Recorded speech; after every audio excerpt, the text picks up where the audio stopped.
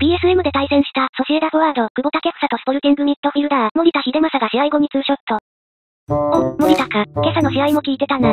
森田のことすごい考えてサッカーしてて参考にさせてもらってるって言ってたんだよな。森田が来たらスリメントのコンビで良くなりそう。シルバの代役に森田ありだと思います。日本人選手なら森田が良いな。